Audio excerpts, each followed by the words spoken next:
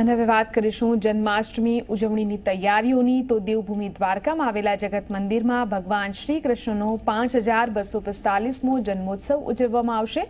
દ્વારકામાં કૃષ્ણ જન્મની ઉજવણીની સંપૂર્ણ તૈયારીઓ કરી લેવામાં આવી છે. મંદિરમાં ભક્તો ઉમટી પડ્યા છે. જગત મંદિરમાં સમયમાં પણ ફેરફાર કરવામાં આવ્યો છે. સવારે છ વાગે મંગળા આરતી કરવામાં આવશે. ત્યારબાદ છ થી આઠ મંગળા દર્શન ભક્તો માટે ખુલ્લા રાખવામાં આવશે.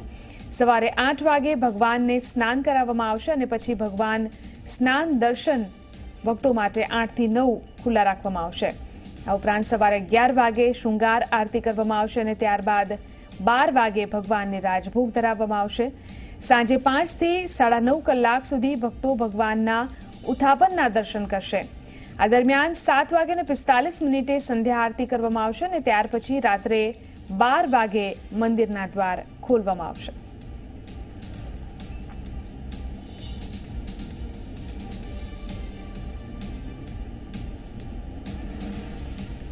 જે ભાગવતની અંદર પ્રમાણ છે, રાત્રિના મધ્યાહને ભગવાનનો જન્મ થયો. એ સમયને અનુસરીને રાત્રે બાર કલાકે શ્રી દ્વારકાધીશનો જન્મોત્સવના દર્શન તમામ ભક્તો રાતને અઢી વાગ્યા સુધી કરી શકશે.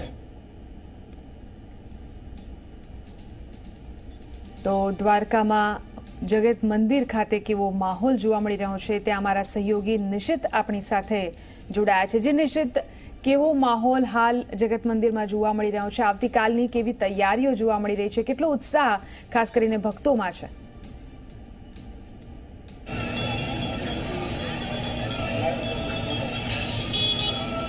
બિલકુલ જીલન અહીંયા આવતા હરેક લોકોમાં ભરપૂર ઉત્સાહ જોવા મળી રહ્યો છે. તૈયારીની વાત કરીએ તો તૈયારીને આખરીઓ પપાઈ ગયો છે. સાડા નવ કલાક આસપાસ જે મંદિર છે, એ મંદિર હવે બંધ થયું છે દર્શન માટે. અને હવે અમે અહીંયા જે ઊભા છીએ, દ્વારકાની બજારમાં ઊભા છીએ, જે જે મંદિર છે, એનાથી થોડુંક જ દૂર આવેલું બજાર છે. અમે આપણે દેખાડીએ કે બજારમાં પણ રોનક જોવા મળી રહી છે. જન્માષ્ટમીને લઈને ન માત્ર ભક્તોમાં એક દર્શન કરવાનો લાવો છે, પરંતુ દ્વારકાની બજારમાં એક ખરીદી કરવાનો અલગ અલગ અહીંની જે વેશભૂષા છે પારંપરિક એ વાત હોય પછી અલગ અલગ જે વસ્તુઓ છે એની ખરીદી કરવાનો પણ એક અનેરો આનંદ લોકોમાં રહેતો હોય છે. એટલે અહીંયા સમગ્ર વાતાવરણ એક જે એક કાનામય બની ગયું છે. લોકો બસ હવે રાહ જોઈ રહ્યા છે. ગણતરીની કલાકો બાકી છે અને ગણતરીની કલાકો બાદ હવે રાતના, આવતીકાલના રાતના બાર વાગ્યાની રાહ જોઈ રહ્યા છે કે બસ કાનાનો જન્મની ઉજવણી કરવામાં આવે.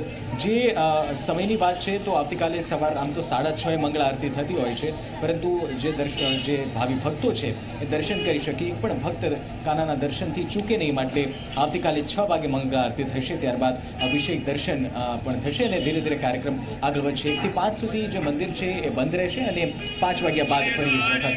પરંતુ સૌથી મહત્વપૂર્ણ વાત ઝીલન એ છે કે અહીંયા આવતા તમામ લોકોમાં એક અનેરો ઉત્સાહ જોવા મળી રહ્યો છે. બસ રાહ જોઈ રહ્યા છે કે કાનાની દ્રષ્ટિ છે, એમનો જન્મ થાય, બાળ કાનાને એ લાડ લડાવે અને ત્યારબાદ તેમની જે દ્રષ્ટિ છે એના પર પડે અને તેઓ ધન્યતા અનુભવે. ઝીલન. જે, બિલકુલ આભાર નિશિત. સમગ્ર જાણકારી આપવા માટે તો દ્વારકા જગત મંદિરમાં માહોલ સંપૂર્ણ બની ગયો છે અને આખા મંદિરને જળહળતી રોશનીથી શણગારવામાં આવ્યું છે. અને હાલ તો હવે દર્શન બંધ થઈ ચૂક્યા છે. આવતીકાલની તૈયારીઓ પણ અહીં પૂરી કરી લેવામાં આવી છે.